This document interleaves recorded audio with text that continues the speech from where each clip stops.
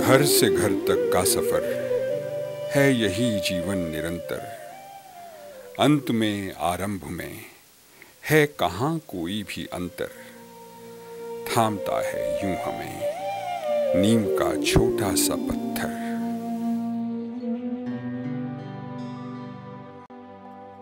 I respect her a lot because she's been through so much in life um, and she still managed to bring up two children so well in a different country, um, starting with nothing. Her personality and um, the way she talks about things in the past and how she feels, she expresses it very well. Mother-in-law. She's more like a friend and like my own mother. She, uh, I don't feel any difference between mother-in-law and mother and I feel very comfortable with her. She's just like a friend and uh, she guides me through. She just allows me to be myself. I've read her poems and I can feel them when I read them and I try to understand what she must have, uh, what state of mind she must have been to write such a poem. And uh, there's one uh, poem of hers called Kadhi. When I read it, I literally had tears in my eyes. Uh, it's about a mother who makes this curry uh, for his children, and then uh, she takes it um, to her son's place, and her daughter-in-law and her grandchildren are there. And then um, she's very disappointed and disheartened to see that no one's interested in her curry, and she comes back home disappointed. And uh, I just feel what uh, uh, how nice she writes, and I think she deserves the best. अ, मैं मे, मेरी जो पहली कविता थी शायद वो मैं बारह तेरह साल की रही होंगी तब लिखी थी और अपने बारे में थी कि मैं जब पैदा हुई तो मेरे दादा दादी कितने खुश हुए और बस उसके बाद लिखा, लिखती रही, छुपाती रही, कभी दि- दिखाई नहीं किसी को। और फिर जब भाई बहनों ने तंग करना शुरू किया तो मैंने उसको एक दिन फाड़ फूट के फेंक दिया सारा। कुछ लिखा हुआ। उसके बाद बंद हो गया। उसके बाद कुछ कहानियाँ लिखी जो नव भारत टाइम्स में एक के बाद एक तीन संडे को छपी। तो मुझे लगा कि ज़रूर कुछ मैं ठीक कर रही होंगी। एंड पर उसके लिखने के बाद फिर बंद हो गया क्योंकि मैं छोड़ा ही भारत और यहाँ के जो स्ट्रगल्स बच्चों के साथ छोटे ही रही। पर कविताएँ मैं लिखती रही हमेशा। One thing I've noticed about her is that she's um, she she likes detail, and so she she manages to find uh, small details in anything that mm-hmm. she sees, um, anything that she finds, and she likes to write about these things. Um, they could be about a small droplet of water. एक बौनी बूंद ने मेहराब से लटक अपना कद लंबा करना चाहा बाकी बूंदें भी देखा देखी धक्का मुक्की लगा लटकी कुछ देर के लिए लंबी हुई फिर आ मिली अन्य बूंदों में पानी पानी होती हुई नादानी पर अपनी The amazing thing is, I guess, that she finds poetry in what you'd think are banal things in life. Selection, a whole collection of poems called Red Galika, which is um, which means written with sand. कभी बैठे बैठे बस कुछ आ जाता है ध्यान में और मैं उसी विषय पर सोचती रहती हूँ उस विषय पे सोचना बंद नहीं होता। जैसे मैंने रेत का लिखा लिखा तो एक डॉक्यूमेंट्री आ रही थी टीवी पर और उसमें किसी लेडी का एक बहुत बढ़िया डॉक्यूमेंट्री थी रेत के ऊपर और तो उसको देख के मैं इतनी अभिभूत हुई कि सोचती रही सोचती रही पहाड़ों के बारे में, रेत के बारे में और टीलों के बारे में और एक के बाद जैसे एक हफ़्ते के अंदर पूरी किताब लिख गई। और ऐसे जब मैंने ये अभी झूठ झूठ पर लिखा तो सोचा एक बार बस झूठ के बारे में सोचा और लगा कि कितना सब कुछ झूठ हो जैसे पूरी जीवन पूरा आ, इतना कुछ था झूठ लिखने के लिए कि पूरी किताब कब बन गई मुझे पता भी नहीं लगा। I think what she writes is really um, is really good because I think she picks up real life examples from from what we can see from her immediate family, from her friends and family. So it's quite easy to correlate what she writes and um, and the meaning within that um, within those stories or poems as as the case may be.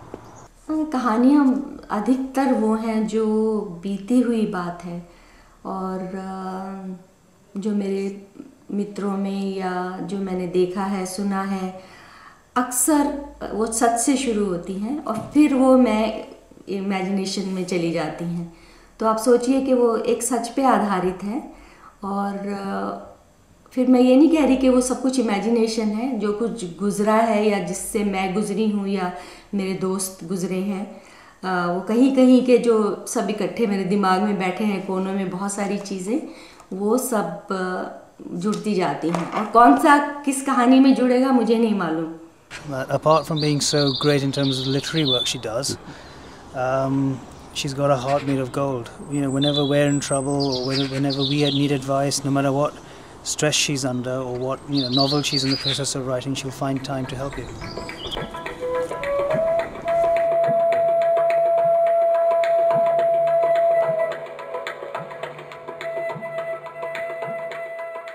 हमारा objective ही है कि to promote Indo British dialogue उसका तो हम लोग ख़ास हमेशा लालायित रहते हैं कि जितना हम अपना इंटरेक्शन लोगों से बढ़ा सकें। हम काफ़ी, आपने देखा होगा कितनी सारी एग्जीबिशंस हैं जो लोग इंडिया जाते हैं यहाँ से और वहाँ पे फोटोग्राफी करते हैं या पेंटिंग करते हैं और अब तो इतने सारे इंडो ब्रिटिश आर्ट चैनल्स खुल गए हैं।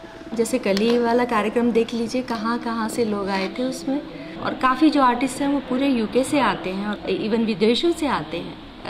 अमेरिका से और यूरोप के कई देशों से। भारत के हर प्रदेश से आते हैं, आपको मालूम है।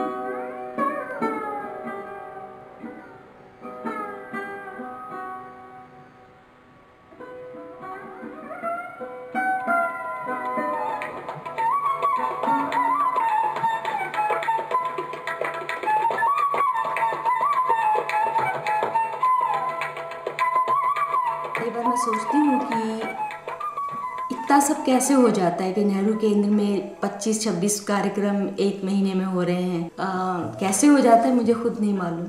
लेकिन मुझे इतना अच्छा लगता है शायद इसीलिए हो जाता है कि मैं चाहती हूँ कि सब आए। हालाँकि मुझे ऊपर से ऑर्डर मिलते रहते हैं कि कम करो कम करो हाई कमीशन से एंड डायरेक्टर के। पर मुझे लगता है कि इतनी अपॉर्चुनिटी फिर मुझे दोबारा मिले ना मिले और कैसे मैं गिरीश कर्नाड आ रहे हैं, पवन वर्मा आ रहे हैं, और इतने सारे बड़े बड़े विक्रम सेठ से लेके और नए लेखक और तो हमारी तो यही कोशिश रहती है कि कितने से ज़्यादा से ज़्यादा कार्यक्रम करें ताकि ज़्यादा से ज़्यादा लोगों को हम फीचर कर सकें, लोगों के सामने ला सकें।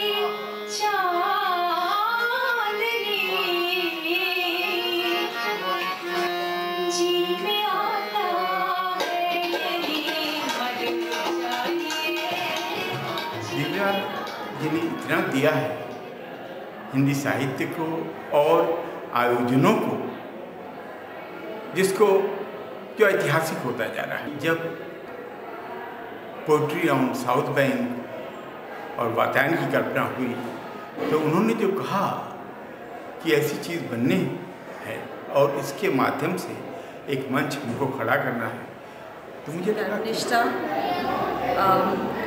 उसके हर एक काम में जो एक हर्ष है आ, कभी भी किसी भी बात से पीछे नहीं हटती। हमेशा हर काम में इन्होंने सपोर्ट किया है। हिंदी भाषा और हिंदी संस्कृति के उत्थान के लिए उसके प्रचार प्रसार के लिए जो अथक प्रयास वो कर रही हैं उनका जो योगदान है उसकी मैं सराहना करता हूँ। रोम रोम धन्यवाद देता है। दिव्या इधर से उधर काम करती रहती हैं आपकी कविताएँ आपकी कहानियाँ पढ़ पढ़ के मुझे इतनी खुशी होती है और बहुत ज़्यादा मुझे इंस्पिरेशन रचनात्मक सोच का मैंने कई बार परिणाम देखा है यहाँ के कार्यक्रमों में। हर चीज़ को बड़े मेटिकुलस ढंग से सुपरवाइज करना और इस बात की कोशिश करना कि वो ठीक से इम्प्लीमेंट हो जाए अच्छी तरह से लागू हो जाए। She's generous, she's kind, she's helpful, and she's always with a smile. And um, I think what makes her uh, more special, extremely valuable, is uh, that she's a poet herself, an artist who understands human sentiments and knows how to express them beautifully. She's an award winning writer, and we are so proud to have Divya with us here in the UK amongst the Indian cultural faculties. आ, इतने बढ़िया बढ़िया लोगों के साथ मैंने काम किया हर director अपनी अपनी कुछ खासियत लेकर आए थे और जिससे सेंटर बहुत आगे बढ़ा, क्योंकि हर अपनी अपनी खूबी लेकर आए। जैसे गिरीश कर्नाड आए तो फ़िल्म से जुड़े और थिएटर से जुड़े लोग और कार्यक्रम बहुत हुए, लोग बहुत आए। शेखर कपूर जैसे और नसीरुद्दीन शाह जो ये सब यहाँ रहते थे एक तरह से, शबाना आज़मी और वो तो दिन रात उनके साथ वो रहता था। और जब चौधरी जी आए, उनका क्या है प्रोफेसर चौधरी तो उनका था अपना था, लिटरेचर के आदमी थे तो वो लिटरेचर से संबंधित लोगों को बहुत लाए। और पवन वर्मा की तो आपको पता है कलरफुल मल्टी फैसेटेड पर्सनैलिटी मुझे दिव्या माथुर के साथ काम करने का मौका तीन साल से प्राप्त है और मैं ये कहना चाहूँगी कि लंदन जैसे महानगर में दिव्या अपने आप में हिंदी की एक अभिव्यक्ति है।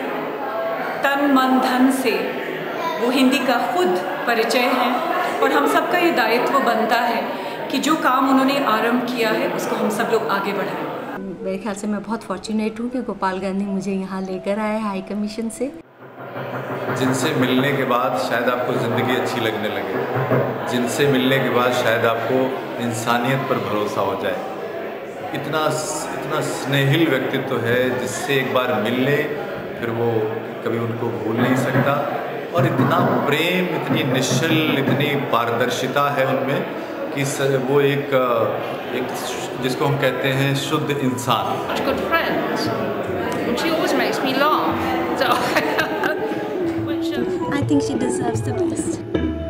All the, the best, best mommy. mommy.